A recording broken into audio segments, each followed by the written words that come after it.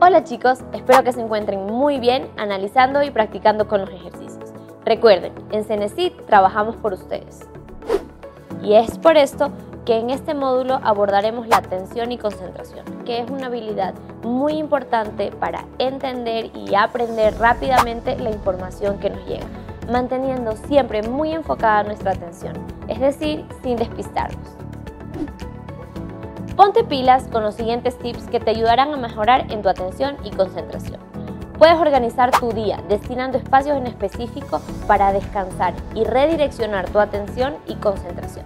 También es importante que determines aquellos factores que te desconcentran y te distraen, como la música, como los ruidos, como el celular, y alejarte de ellos por un momento. Ejercita tu mente diferenciando entre los instrumentos de una orquesta. También puedes hacerlo con sabores, colores, olores y texturas. Aprende técnicas de manejo emocional que te ayuden a mantener la curiosidad, la motivación y la concentración en lo que te propongas. Ahora veamos cómo nos va en el siguiente ejercicio visual. ¿En qué grupo hay una letra que no está en los demás?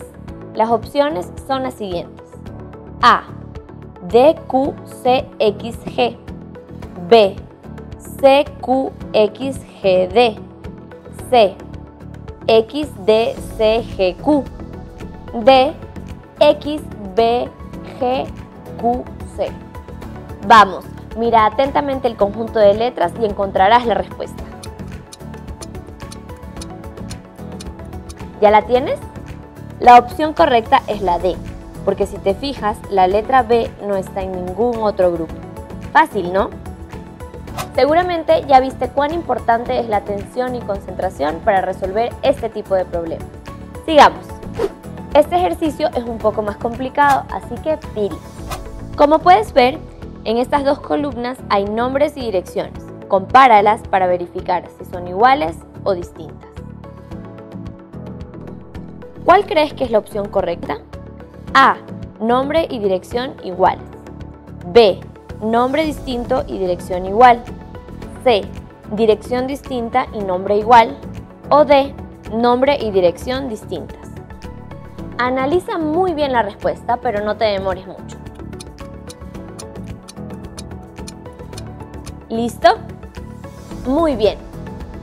Sí, la opción correcta es la letra B, porque entre el primer y segundo cuadro únicamente varía una letra en el apellido. Por lo tanto, el nombre es distinto y la dirección es igual. ¿Qué tal si realizamos un ejercicio más? ¿Te animas? Del siguiente grupo de letras, elige el que se encuentra en negrito. X mayúscula, V minúscula, C mayúscula, V mayúscula, C minúscula y X mayúscula, X mayúscula, C minúscula y V mayúscula, V minúscula, C mayúscula y X minúscula, C minúscula, V mayúscula y X minúscula. Fíjate en todas las opciones y elige la correcta. A. X mayúscula, C minúscula y V minúscula. B.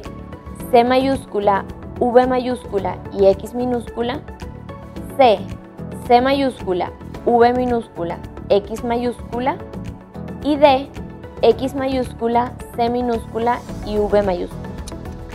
¿Ya la tienes? Perfecto.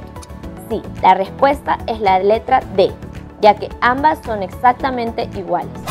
¿Cómo te fue? Si no acertaste alguna, no te preocupes. Todavía tienes tiempo para desarrollar más tu atención y concentración. Y seguro te diste cuenta que este tipo de preguntas no mide conocimientos, por lo que no es necesario memorizar. El test transformar mide competencias y aptitudes.